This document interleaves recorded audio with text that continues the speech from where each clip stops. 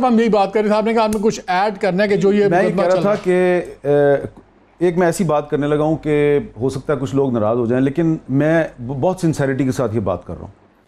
اس وقت ہمارے جو ملک کو جو بیرونی سازشوں کا سامنا ہے اس کا یہ تقاضا ہے کہ ہم کوئی پاکستان میں ایسا کام نہ کریں کہ جس سے جو ہمارے ریاست کے جو اہم ادارے ہیں یہ کنٹروورشل ہو جائیں۔ ان کو کنٹروورشل بنانا جو ہے یہ پاکستان کے ساتھ بہت بڑی دشمنی ہے۔ لیکن انفارچونیٹلی ایسے ایسے لوگ جو ہیں، وہ ایسی ایسی باتیں ریکارڈ پہ لا رہے ہیں، جس سے کہ میں یہ سوچتا ہوں کہ یہ یہ کیوں ہو رہا ہے؟ خورشید شاہ صاحب نے دو خط لکھے ہیں آصف زرداری کو۔ کسی اور کو نہیں، زرداری صاحب کو دو خط لکھے ہیں۔ ایک کچھ دن پہلے لکھا تھا، ایک انہوں نے کل پرسوں خط لکھا ہے۔ اس خط کی ڈیٹیلز، دونوں خطوط میں نے دیکھے ہیں۔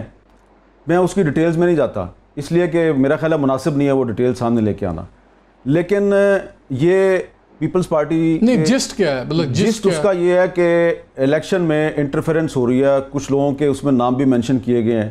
جو اور میں نے جب خورشید شاہ صاحب سے کہا کہ آپ اس پہ ان کو پبلک کرنا چاہتے ہیں انہوں نے بھی کہا کہ نہیں میں پبلک نہیں کرنا چاہتا میں صرف اس کو بلیک اینڈ وائٹ میں لانا چاہتا تھا۔ میں نے اپنی پارٹی کے جو میرا اگلا سوال یہی تھا آپ سے کہ خط کیوں لکھا؟ پوچھا کیوں نہیں؟ زبانی بات کیوں نہیں کی؟ وہ کہ جی یہ ریکارڈ پہ آ جائے۔ ٹھیک۔ اور اب وہ خط اس کی کاپیاں انہوں نے کچھ اور بھی اہم لوگوں کو بھجوا دی ہیں۔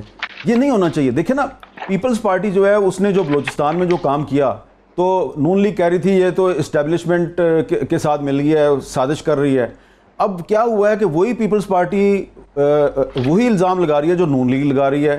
مولانا فضل الرحمان نے بھی ویسی باتیں کرنی شروع کر دی ہیں۔ اے این پی بھی وہی باتیں کر رہی ہے اختر مینگل کیا صاحب بھی وہی باتیں کر پیپلز رہے ہیں۔ پارٹی اور مسلم لیگ نون کا کولیشن پارٹنر بننا الیکشن کے بعد سو میں سے کتنے پرسنٹ آپ کہیں گے کہ ہو سکتا آصف زرداری صاحب جو ہیں وہ ابھی بھی چاہتے ہیں کہ ایسی صورتحال پیدا نہ ہو کہ ہمیں نون لیگ کے ساتھ مل کر اس ملک میں کوئی تحریک چلانی پڑے یا ایجیٹیشن کرنا پڑے۔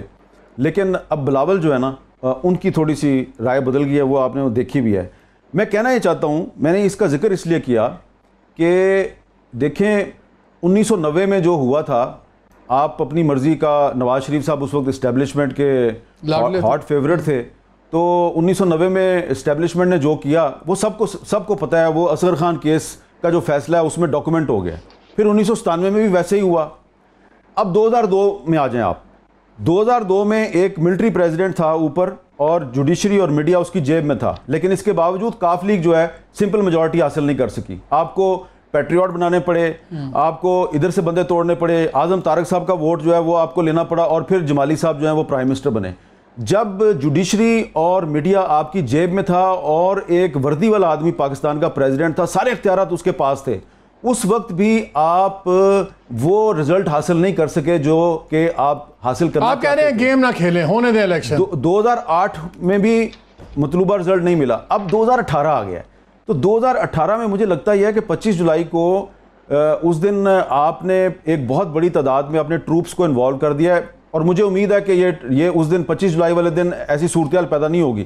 لیکن پچیس جولائی سے پہلے جو کچھ بھی ہو رہا ہے، وہ ڈیولپمنٹس جو ہیں وہ پچیس جولائی کا جو بھی رزلٹ ہوگا، وہ اس کو کنٹروورشل بنا سکتی ہیں۔ اور کچھ لوگ یہ بھی کہہ رہے ہیں، کچھ لوگ یہ بھی کہہ رہے ہیں کہ یہ سارا کچھ جو ہے، وہ شاید جان بوجھ کے کچھ لوگ جو ہیں، وہ امپریشن یہ دے رہے ہیں کہ ہم نواز شریف کے بہت خلاف ہیں۔ لیکن اندر سے وہ نواز شریف کو ہیلپ کر رہے ہیں۔